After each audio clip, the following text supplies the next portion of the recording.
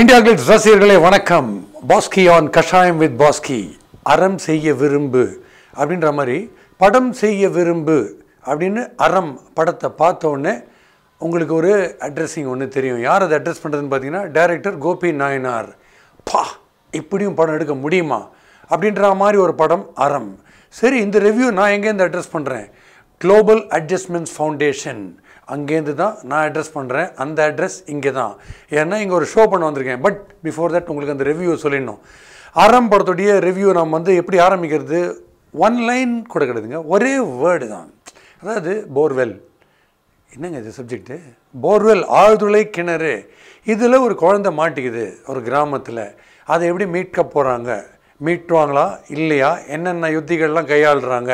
இதில் ஹீரோ யாருன்னு பார்த்தீங்கன்னா எக்ஸ்பர்ட்ஸ் காப்பாற்ற தெரிஞ்ச எக்ஸ்பர்ட்ஸ் அந்த ஊரில். டெக்னிக்கலி குவாலிஃபைடாக இருக்கட்டும் இல்லை ஊர் மக்கள் தான் ஹீரோஸ் யாரை காப்பாற்றணும் யார் ஹீரோயினு குட்டி குழந்தை சின்ன பொண்ணு. உங்களுக்கு என்னுடைய சேயிங் ஒன்று சொல்லணும் அப்படின்னு பார்த்தீங்கன்னா நான் சொல்லுவேன் city has got many free villages free வில்லேஜஸில் free villages but village has got no necessities அதனால் நெசசிட்டிஸே இல்லை.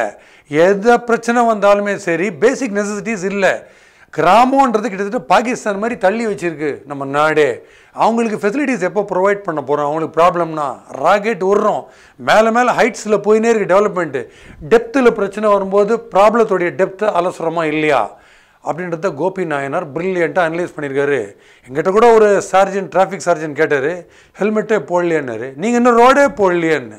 ரோட்டில் குழி குழியாக இருக்குது என்ன வழின்னே கேட்க முடியல. என்ன குழின்னு கேட்கணும். அந்த மாதிரி கிராமத்தில் ஒரு குழி இருக்குது அந்த குழியில் ஒரு குழந்தை விழுந்துச்சுன்னா கலெக்டராக இருக்கிற நயன்தாரா எப்படி போராடி அந்த குழந்தையுடைய லைஃப்பை காப்பாற்றுறாங்க ஒரு ஸ்டேஜில் அந்த குழந்தையோட லைஃப்பை காப்பாற்றுறதுக்கு ஏகப்பட்ட உயிரை காவு கொடுக்க வேண்டியிருக்கு. இருந்தாலும் அந்த குழந்தைய காப்பாற்றி தான் ஆகணும் அந்த பெண் குழந்தைய காப்பாற்றி தான் ஆகணும்னு எவ்வளோ மெசேஜஸ் ஒரு லேடியாக ஒரு கலெக்டர் இருக்கும்போது எப்படி எப்படிலாம் போராட்டங்கள் வரும்? அதில் கிளைமேக்ஸில் ஒரு ட்விஸ்ட் இருக்குது வீட்டில் நம்ம பசங்களுக்கு வந்து படிப்பு வரல அப்படி இப்படின்னு திட்டும்போது இன்னேட்டாக இன்னொரு டேலண்ட் இருக்கும். அந்த டேலண்ட்டை எக்ஸ்ப்ளோரே பண்ண மாட்டோம். அந்த மாதிரி டேலண்ட் எந்த பையனுக்கு இருக்குது அது எப்படி சர்ஃபேஸ் ஆகுது? ஸ்டார்ட் டு ஃபினிஷ் இல்லை அந்த ஹோல் கண்ட்ரி அதோடைய ஹார்ட்டு அந்த குழந்தைய காப்பாற்றுறதுலாம் இருக்குன்றது எப்படி எடுத்துன்னு போகிறார் சீனுக்கு சீன் இப்போது ஒரு ஸ்டார் வேல்யூ ஒரு பேருக்கு நயன்தாரா அதில் இருக்காங்களே தவிர அந்த ஃபுல் அண்ட் ஃபுல் ஸ்டார் வந்து அந்த கிராமத்தில் இருக்கிற மக்கள் தான் அந்த மாட்டின அந்த சின்ன பொண்ணு தான் இப்போ ஸ்டார் வேல்யூவே இல்லாமல் எடுக்க முடியுமா படம்னா நீங்கள் அவுட் ஆஃப் ஃபோக்கஸே போகாமல் இருந்தால் முடியும். ஏன்னா கதையுடைய கண்டென்ட் அவ்வளோ ஸ்ட்ராங் இதில் வேறு வெளியில் போய் ஃபாரினில் டான்ஸ் பதினஞ்சாயிரம் சுச்சுவேஷனை ஓப்பனிங்லேயே காமிச்சு இதெல்லாம் எப்படி சேருது? எதுவுமே கிடையாது. படம் சுற்றி சுற்றி சுற்றி அந்த குழியை சுற்றியே தான் இன் சர்க்கிள்ஸ் வருது அந்த படம். பட் இப்படி ஹோல்ட் பண்ண முடியுமா? டூ ஹவர்ஸுக்கு டேரக்டர் ஹோல்ட் பண்ணுறாருன்னா சபாஷ் சபாஷ்னு கை தட்டினே இருக்கணும். ஸோ நயன்தாரா ஆஸ் கலெக்டர் வர்றாங்க. ஒரு ஸ்டார் வேல்யூக்காக நயன்தாரா வச்சுருக்காங்க. நயன்தாராவும் உங்களுக்கு ரொம்ப பிடிக்கும்.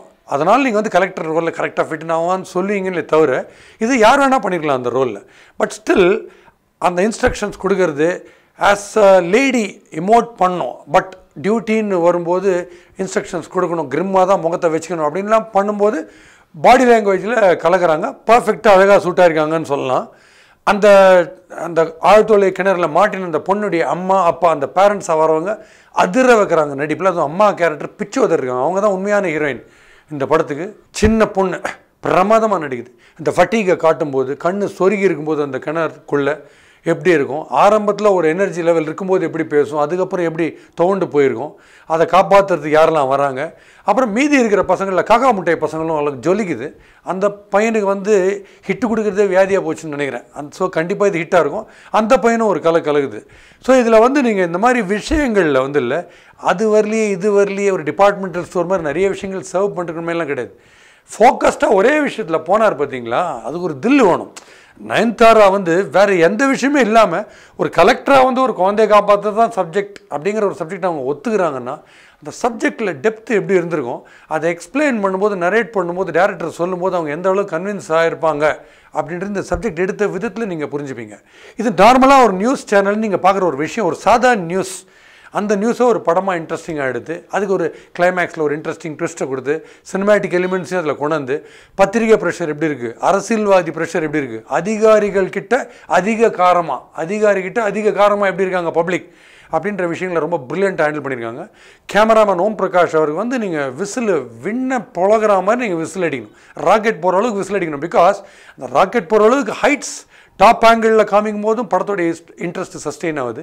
இன்டெப்த்து இருட்டு அந்த இருட்டில் போகும்போது கதையில் உங்களை இந்த பக்கம் அந்த பக்கம் நவர விடாமல் தியேட்டரில் இருக்கிற இருட்டை விட அதிக இருட்டு ஸ்க்ரீனில் இருக்குது பட் அந்த ப்ராப்ளத்துக்குள்ளே கம்ப்ளீட்டாக உள்ளே கொண்டு போயிடுறாங்க கொண்டுறாங்க நம்மளை. நீங்கள் வந்து வேறு எந்த விஷயமே டிஸ்கஸ் பண்ண மாட்டீங்க. அந்த அளவுக்கு மேக்னெட்டிக்காக ஒரு சப்ஜெக்ட் பியூட்டிஃபுல்லாக எடுத்திருக்காங்க. ஜிப்ரான் மியூசிக்கில் வந்து ரொம்ப பாராட்ட வேண்டிய விஷயம் என்னென்னா அந்த கிணத்துல மாட்டின குழந்தையுடைய ப்ரீதிங் வந்து நிறைய வாட்டி வருது ஃபர்ஸ்ட் ஆஃப்ல அது வரும்போது அந்த ப்ரீதிங் சவுண்டில் வேறு எந்த மியூசிக்கை போட்டாலும் கெட்டு போயிடும் அந்த மூடு பட் அது கெட்டு போகாத அளவுக்கு சட்டிலாக ப்ரில்லியண்ட்டாக ஹேண்டில் பண்ணிருக்காரு கிளைமேக்ஸில் வர ஹம்மிங்லாம் ஜிப்ரன் வந்து ரொம்ப ரொம்ப பிரமாதமாக விரல் ஜாலங்கள்லாம் விளையாடிருக்கு கீபோர்டில் அப்படின்னு ஹண்ட் ஹண்ட்ரட் பர்சன்ட் நம்ம பாராட்டலாம். இப்படி வந்து எக்ஸப்ஷனே கிடையாது. அவங்கவுங்க ரோல்ஸை லிவ் பண்ணிட்டாங்க. அண்டு டுவர்ட்ஸ் தி எண்டு கிட்டத்தட்ட கிளைமேக்ஸ் வரும்போது இன்னும் கொஞ்சம் பில்டப் கொடுத்துருக்கலாம். அப்படின்னு லைட்டாக தோணுச்சு. ஏன்னா அந்த கிளைமேக்ஸில் ஒரு சக்ஸஸை பார்க்க போகிறோமா இல்லை தோல்வி அப்படின்னு பார்க்குற சமயத்தில் அதோடைய ரிசல்ட் கிடச்சதுக்கு அப்புறம் அதுக்கப்புறம் பேச்சு டயலாகுன்னு போகிறது இருக்குது பார்த்தீங்களா அது வந்து அதை கொஞ்சம் கட் பண்ணியிருக்கலான்னு தோணுச்சு. ஸோ ஓவரால் இந்த இந்த படத்துடைய சக்ஸஸ் வந்து கடலில் ஆழ்கடலில் போயிட்டு முத்தெடுக்கலாம். பட் ஆழ்துளை கிணறுல போயிட்டு முத்தா இருக்கிற ஒரு குழந்தை எடுக்கிறதுக்கு இந்த நேஷனே கூடுது. இவ்வளோ ஹார்ட்ஸ் பதப்பதைக்குது அப்படின்றத ஸ்க்ரீனில் கொண்டுறது சாதாரண விஷயம் இல்லை. நியூஸில் கேண்டிடாக காமிச்சிடலாம். பட் இதுக்கு ஒரு ஸ்க்ரீன் பிளே எழுதி இதை கொண்டாந்தாருன்னா கோபி நாயனாருக்கு வந்து நீங்கள் அந்த இன்டெப்த் நீங்கள் கை தட்டணும். அறம் வந்து சாதாரண விஷயம் கிடையாது. Film மேக்கிங்கில் it will create a history கண்டிப்பாக நான் சொல்கிறேன் நீங்கள் வந்து போவீங்க இந்த படத்துக்கு கை தட்டுவீங்க ஸ்டார் வேல்யூலாம் தூக்கி போட்டு கண்டென்ட்டை ரசிக்கிறவராக இருந்தீங்கன்னா கண்டிப்பாக இந்த படத்துக்கு நீங்கள் போவீங்க. உங்கள் கரம் கை தட்டுறதுக்கு கண்டிப்பாக இருக்கும். ஏன்னா படம் தரம் அப்படின்னு சொன்னால் கூட ஃபைனலாக ஒரு விஷயம் உங்களுக்கு சொல்லணும்னு தோணுச்சு.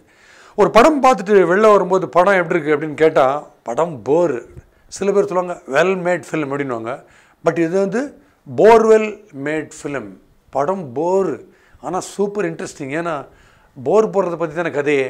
அடுத்த கஷாயம் வித் பாஸ்கில் கண்டிப்பாக சந்திக்கிறேன்.